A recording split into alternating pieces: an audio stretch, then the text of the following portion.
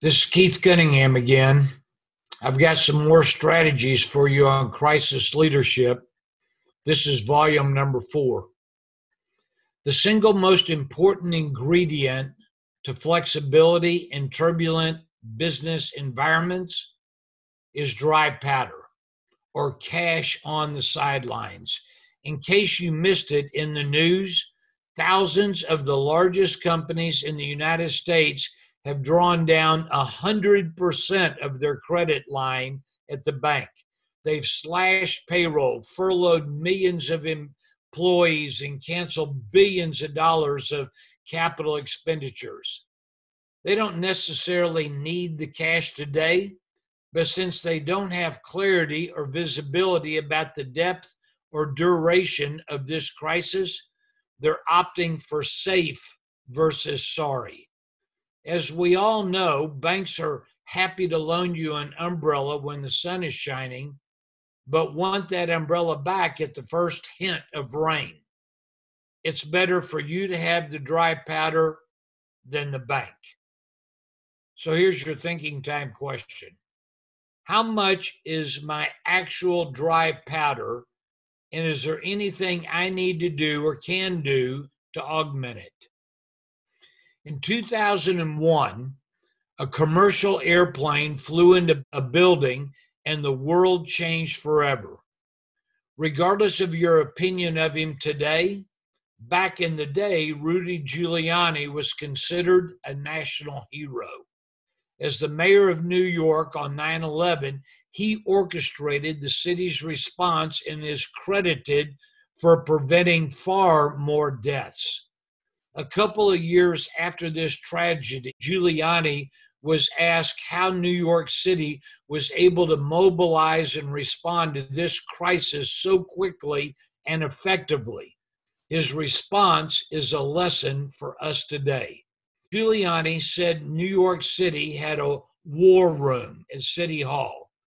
This room contained more than 50 different plans for responding to different potential crises.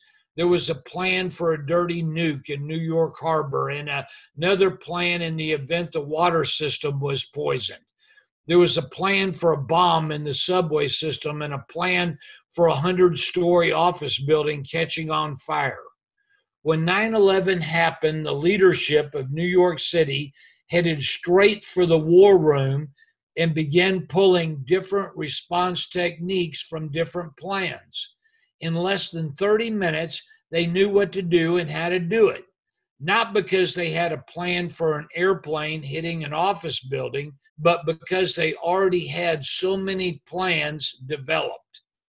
So here's the message you will need multiple plans on the shelf as this crisis winds its way through our economic system. You need to develop robust sensitivity analysis with varying assumptions for revenue, expenses, cash collections, cash burn, and timelines. Waterfall or cascade your expense structure, assuming various cash collections and revenue events no one has the ability to predict or exactly know what's going to happen next.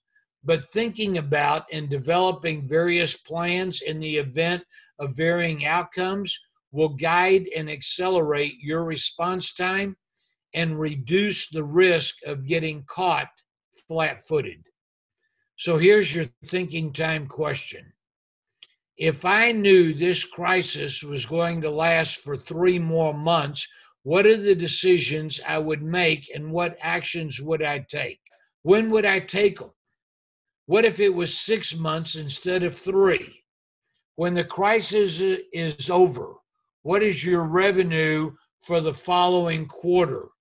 What if it's less than 50% of your pre crisis revenue? In asking this question, I'm not suggesting that that timing is accurate but rather challenging your assumptions and thinking to cause you to create some additional plans.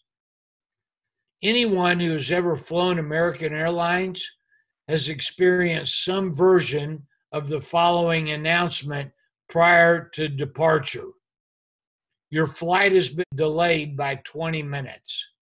30 minutes later, another announcement is made that informs you that it'll be an additional 45 minutes before departure. An hour later, they announce that your airplane that was that was scheduled to fly you to your destination has not even left the tarmac in the city of origination. And therefore, the airline can't predict the estimated departure. But don't leave the boarding area in case there's another announcement. So here's your thinking time question What does my plan need to look like if the scheduled end of the crisis begins drifting from my original plan? Now, go think. You'll thank me later. For more business and CEO strategies, go to my website, keystothevault.com.